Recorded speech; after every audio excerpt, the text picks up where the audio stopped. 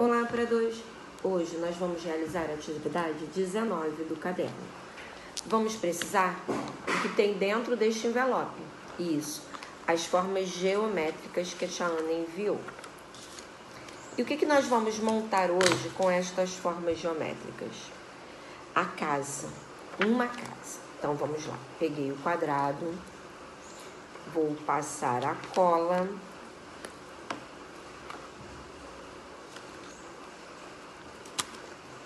o triângulo, também estou usando e passando a cola.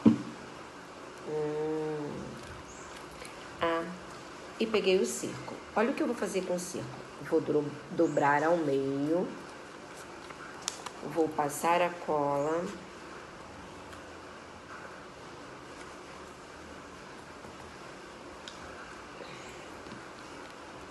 Tcharam! Olha a minha casa. A porta está fechada, a porta está aberta. Usei o círculo, o quadrado e o triângulo. E você, faça sua casa com muito capricho.